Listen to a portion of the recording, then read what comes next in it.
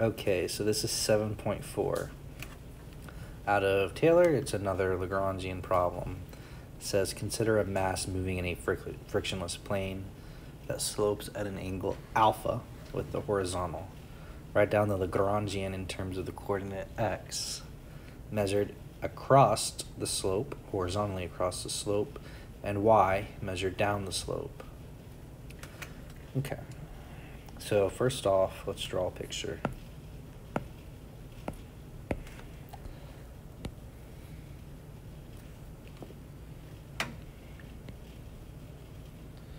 We have some mass M.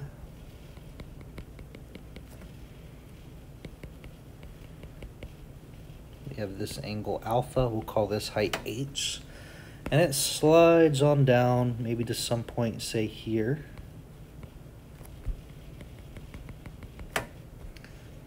And we'll call this y tilde. Okay? And this whole bit here, this is our y-axis. So just to see if we were to draw something out, just to give you some sort of reference. Oops. This would be our z-axis, our y, our x. Just as a little reference here. Okay, so we have that down. Now let's do our position like we always do. Want it in terms of x and y. And that just means x is equal to x, y is equal to y. And the velocities, we just need to take the time derivative. So x dot is equal to x dot, y dot is equal to y dot. And then with our velocities, we can easily find the kinetic energy.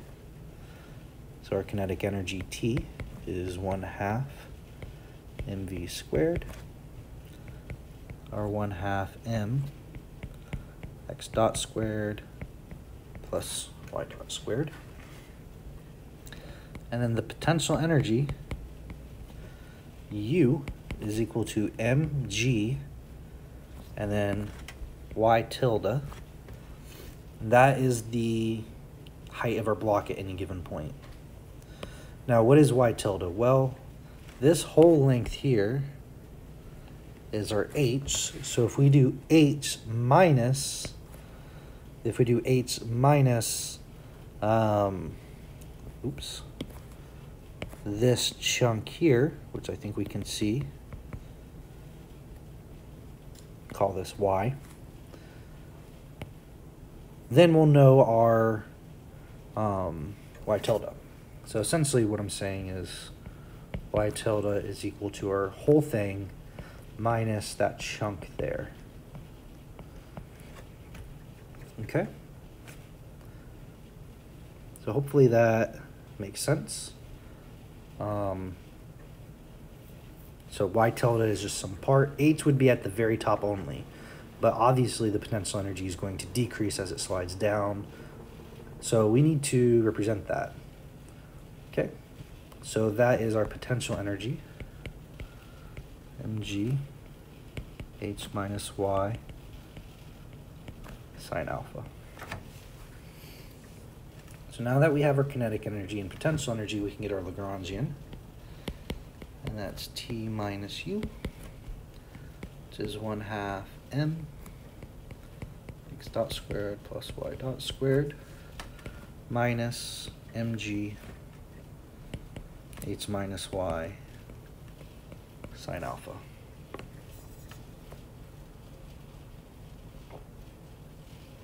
So that's our Lagrangian. And we want to split this up into x motion and y motion. That's what the problem wanted.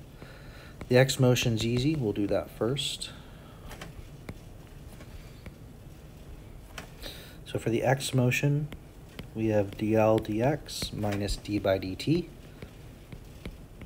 of the partial L with respect to the derivative equal to 0.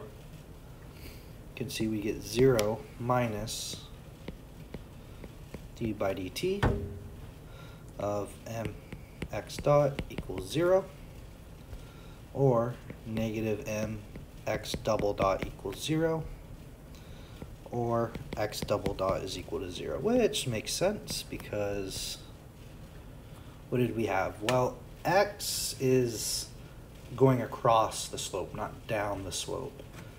So we're not expecting any sort of acceleration there because there's no force in that direction. So that actually makes sense.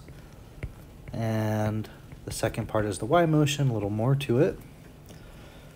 So we have dl by dy minus d by dt dl dy dot equals zero. And now when we do that, we see that we can get an mg sine alpha, because with the derivative the y goes away, minus d by dt my dot equals zero.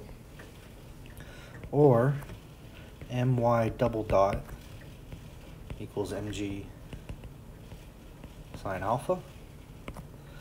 You can divide out by the m's. And y double dot is then just equal to g sine alpha.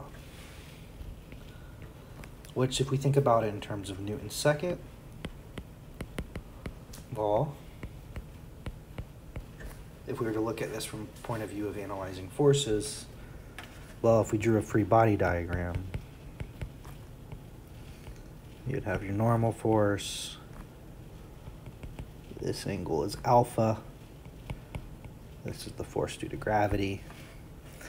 And the only place where we have net acceleration would be from this force, which is actually in the y direction. Uh, I know it's normally x, this is actually FG in the y direction by the way that we defined our coordinate system, which is just equal to mg, mg sine alpha.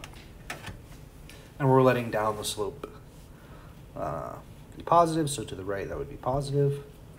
So then if we do Newton's second law, the sum of all forces